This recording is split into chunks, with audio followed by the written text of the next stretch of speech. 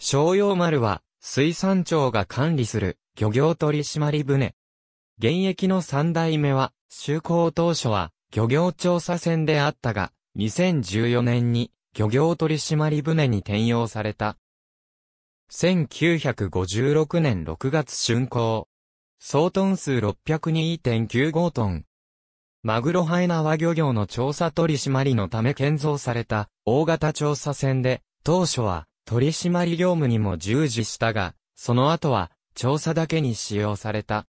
抵抗の少ない船型が採用され、熱帯を含む長期航海に備えて、水産庁船舶としては初めて本格的な空調装置が整備された。やや復元性に問題があったとも言われる。例年9月頃から約半年にわたり、全世界のマグロ漁場において、ハエ縄による漁業調査、生態環境調査、産卵致死魚調査、海洋観測に従事した。1958年11月から翌1959年4月にかけての航海では、マグロ漁場調査に加えて、西ヨーロッパ及び中近東におけるマグロを中心とした水産物の販路の調査を行うことになり、地中海、北海沿岸のヨーロッパの主要各港を歴訪した。この時繊維として登場した作家で、精神科医の北森夫が、ドクトルマンボウ航海記を執筆したことでも知られる。1377.84トン。1972年3月21日竣工。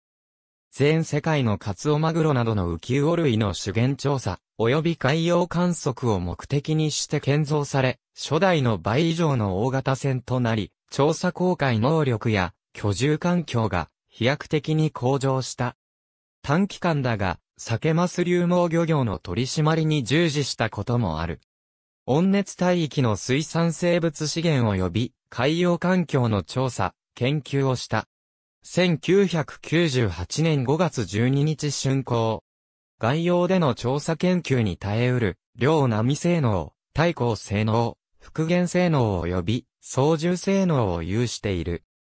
通常航行時には、ディーゼル推進とし、長時間の微速航行が必要な場合や、音響調査時には、電気推進とすることで、水中放射雑音の低減を図っている。